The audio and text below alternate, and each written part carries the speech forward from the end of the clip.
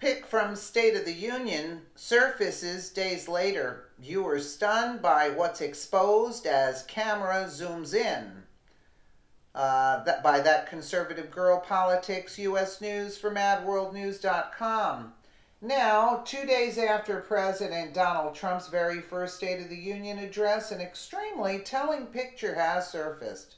Viewers have been stunned by what's exposed as the cameras zoom in.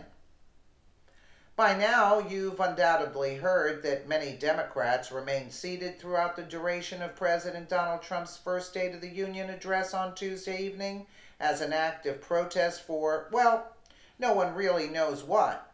After Trump uh, having had such a momentous first year in office, the Democrats have no legitimate bones to pick with him besides the fact that he uh, refuses to let in all of the illegal immigrants that their little liberal uh, hearts desire. Still, in the absence of any legitimate grievances with the president, the Democrats who actually showed up to Trump's first State of the Union address protested his speech by sitting through it like a bunch of toddlers who missed their nap time. At times, these acts of protest were seen as disrespectful, uh, particularly when Democrats refused to stand or applaud for Trump's remarks about be America being one nation under God or standing for our national anthem. Conservative co commentator Liz uh, Wheeler even provided a comprehensive list of all the things in Trump's speech with the, which the Democrats didn't stand for, which included low black unemployment, bonuses for employees, 2.4 million jobs created, American flag, In God We Trust, national anthem, fully secured border, merit based immigration, fighting opioid abuse, Jerusalem as the capital of Israel. Members of the Congress- uh, Congressional Black Caucus were perhaps the worst offenders on Tuesday night as they refused to stand when Trump touted the record low black unemployment numbers achieved by his administration. So, if the Democrats weren't standing and applauding at the appropriate times during the president's State of the Union address, then what were they doing?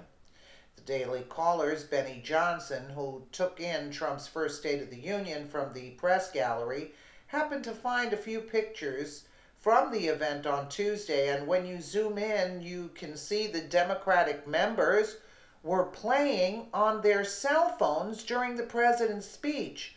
Perhaps a version of Candy Crush?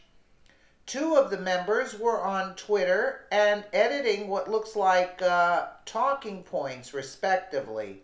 Check it out.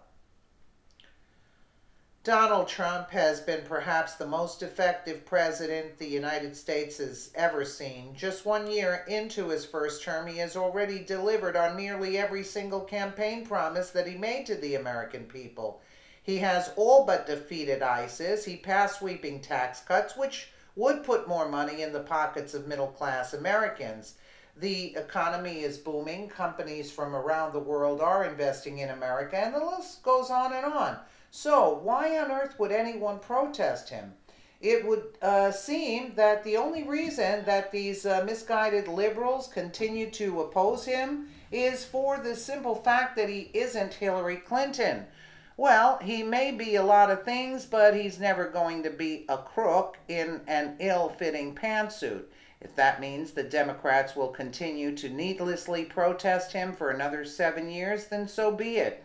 He'll keep winning as they waste their power with absurd protests like the one they waged on Tuesday night, accomplishing absolutely nothing for the people who elected them to office in the first place. Isn't that disgraceful? Isn't that disgraceful?